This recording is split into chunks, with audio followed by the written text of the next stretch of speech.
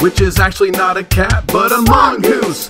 Which is actually not a goose. Anyway, the meerkat is a fun furry creature. They have a body length about 30 centimeters and a tail. So where do they live? Their habitat is in southwest Africa. How about that? They like to hang in the grasslands, savannas, and plains. Suricata, suricatta. is their scientific name. Don't know why they say it twice, don't know what that's about. But now is not really the time for us to figure it out. The meerkat lives in underground burrows. They dig them with their claws. When they do, they're pretty thorough. They have tunnels and rooms to protect them from the heat. Some burrows are long, up to 16 feet.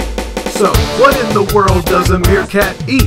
Well, it's nothing that you or I would ever call a treat. They like termites and beetles, caterpillars and spiders. They use their pointy little nose to sniff out all the hiders. And they don't stop there. Meerkats are omnivores. They eat fruits and veggies, birds, lizards, and even more. Scorpions are one of their favorite treats, but they bite off the stinger before they dig in to eat.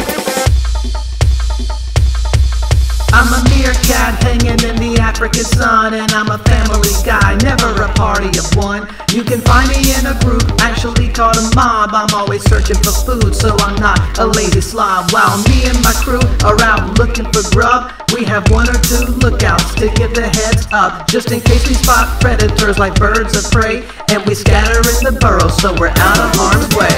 Talking about the meerkat. Savannah is his habitat. Looking like a desert rat. We're actually not sure about.